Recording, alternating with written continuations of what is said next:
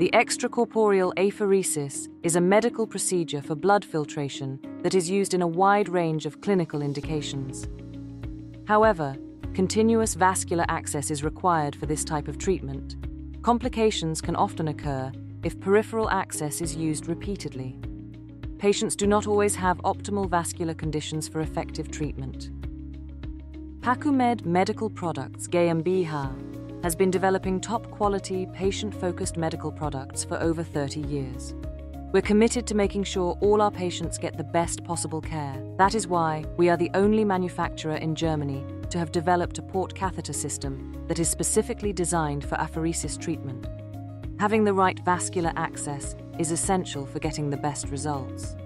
The Titan Port APH provides safe vascular access for therapeutic apheresis. It is implanted in a minor surgical procedure and ensures a high blood flow. Our non-coring SFN port needles complete the innovation of the port catheter system. The patented tip is designed to prevent the silicone membrane from being destroyed, ensuring a guaranteed 1,000 punctures. The port needle has a lateral outflow hole, a connecting tube with an Luer lock system, and a removable holder for a simplified puncture. The puncture is simple and safe after professional instruction.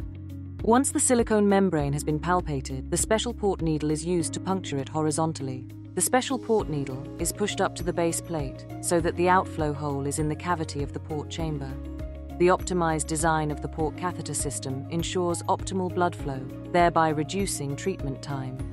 Upon completion of the treatment, the port is flushed. The port needle is gently removed. The apheresis treatment can be performed using one or two implanted port catheter systems. With the Titan Port APH, the treatment time can be reduced compared to conventional accesses. As a result, our port catheter system helps improve quality of life by saving time and providing more effective treatment, even in patients with inadequate vascular status. PakuMed Medical Products GmbH